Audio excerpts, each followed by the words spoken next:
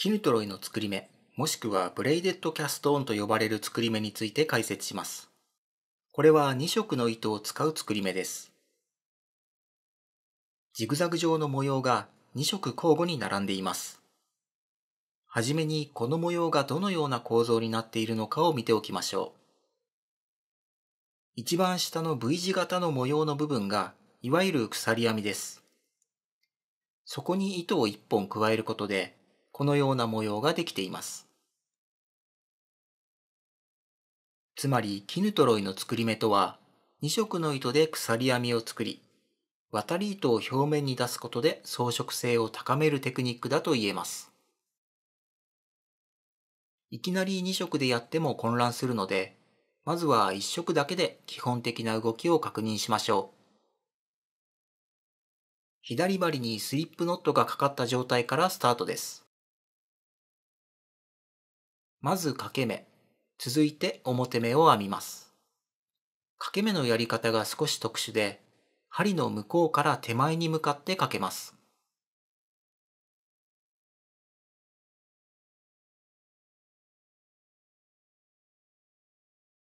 そして表目を左針へ戻します。掛け目、表目、表目を戻す。この繰り返しです。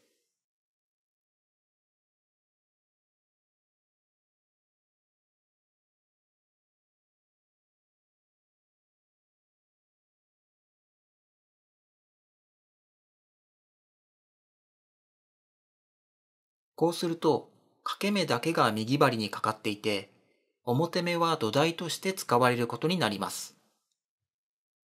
針から外してみると、これはまさに鎖編みだということがわかりますね。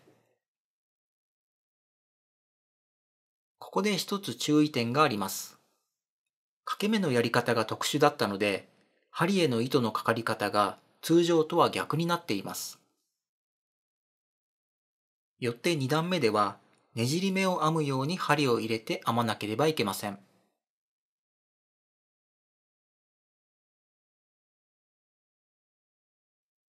これを忘れて普通に針を入れるとねじり目ができてしまいます。それでは次に2色の糸でやってみましょう。掛け目、表目、表目を戻すという基本的な動きは1色の時と同じで、渡り糸のさばき方がポイントになります。はじめにスリップノットを作って左針に糸をつけます。ここで糸玉を左右に分けておくのが後々糸が絡まらないようにするコツです。左の糸で表目を編みます。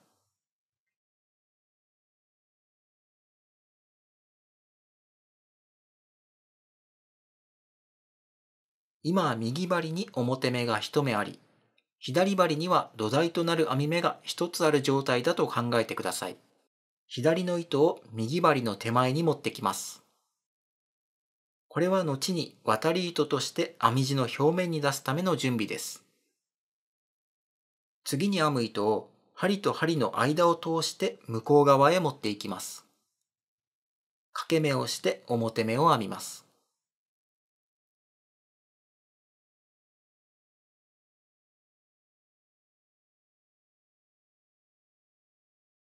先ほど表に出しておいた糸を手前に持ってきます。ここまでが編み始めのセットアップです。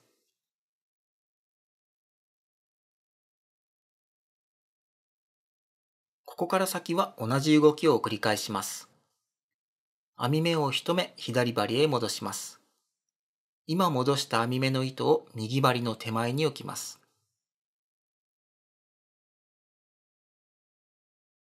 これから編む糸を針と針の間を通して向こう側へ持っていきます。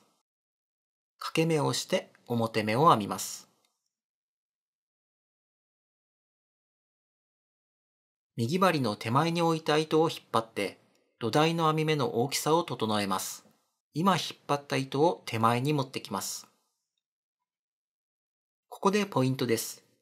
糸を手前に持ってくるとき、その糸が右側の糸なら針の右側から手前に出し、左側の糸なら針の左側から手前に出すようにします。こうすると糸が絡まりません。それではここまでのワンセットを何度か繰り返してみましょう。編み目を戻す。糸を右針の手前に。編み糸を向こうへ。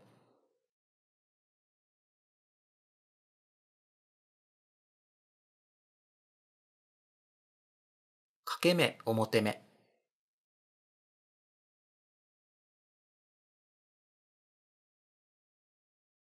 糸を引いて編み目を整え、手前に持ってくる。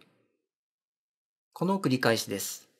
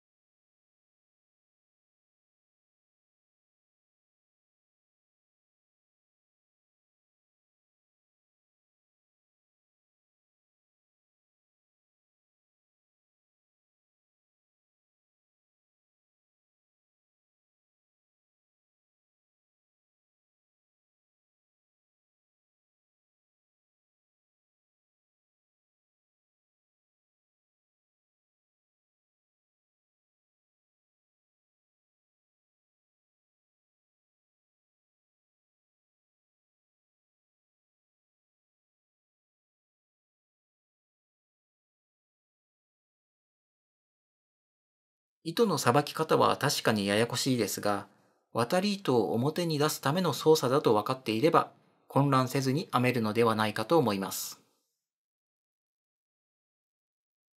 こうして編んでいくと、編み終わりは同じ色が連続することになります。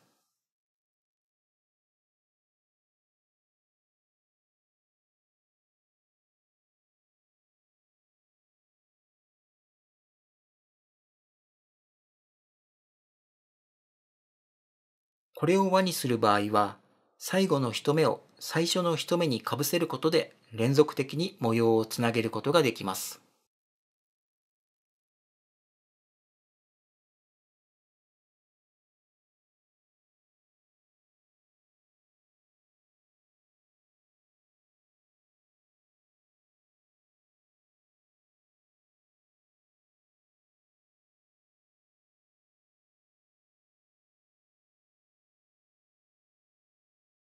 2段目ではねじり目を編むように針を入れることをお忘れなく。